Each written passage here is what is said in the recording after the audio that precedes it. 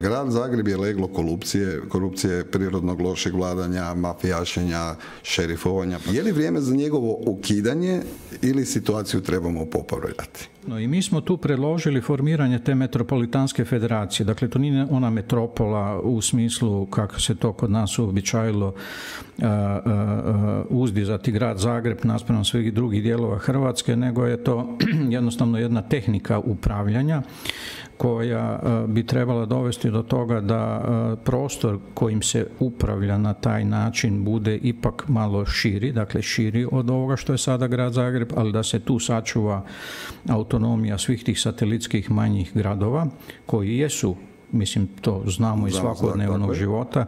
Uostalom ja sam iz jednoga od njih, tamo iz Vrbovca, prema tome mi svi putujemo do Zagreba, školujemo se, idemo u bolnice u Zagreb i tako dalje, to svi znaju. Dakle, treba sačuvati autonomiju tih e, e, gradova, tih jedinica uokolo, ali omogućiti da e, ta cijela urbana jedna aglomeracija funkcionira kao opet jedna cjelina. Unutar toga Zagreb mora imati ja mislim nešto uže granice, dakle to su one prirodne granice, rekao bi, grada Zagreba. I čak unutar toga onda je pitanje da li treba tri razine upravljanja, ja mislim da ne treba i mi kad, se, kad su se uvodili mjesni odbori smo bili, e, zvao nas je tada Bandić na neki takozvani stručni skup, bili smo tak protiv toga.